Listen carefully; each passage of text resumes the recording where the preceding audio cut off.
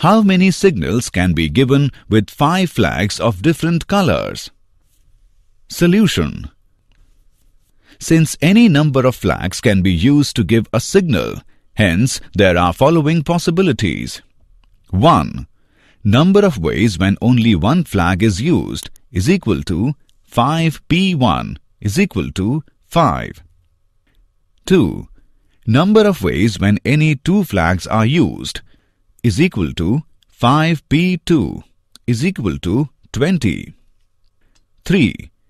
Number of ways when any three flags are used is equal to 5p3 is equal to 60. 4. Number of ways when any four flags are used is equal to 5p4 is equal to 120. 5.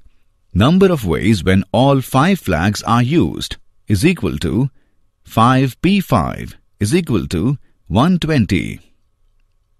The total number of signals is equal to 5 plus 20 plus 60 plus 120 plus 120 is equal to 325. For more such videos on all subjects, practice questions and a lot more, download iPrep and learn unlimited.